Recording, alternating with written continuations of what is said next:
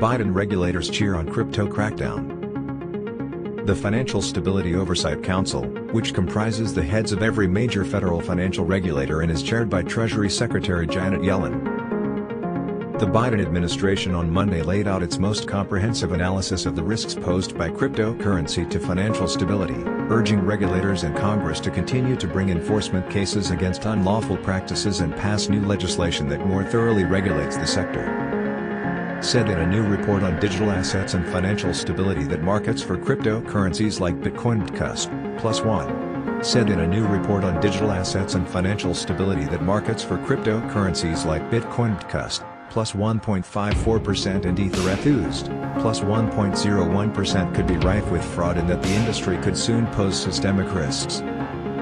The report notes that complaints to the Securities and Exchange Commission about crypto asset markets have risen fivefold since 2019, and points to data from the Federal Trade Commission showing exponential growth in complaints about crypto scams.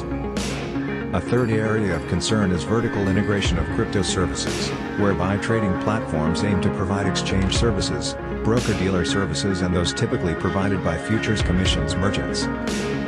FSOC puts forth several recommendations for regulators, including to continue to enforce existing rules and regulations but also for Congress and independent agencies to put forward laws and rules that address regulatory gaps.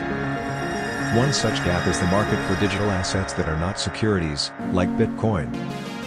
FSOC therefore recommends that Congress pass a law granting a regulator oversight of digital asset commodity spot markets, as several bills being debated in Congress would do as well as a law regulating the issuance of stablecoins.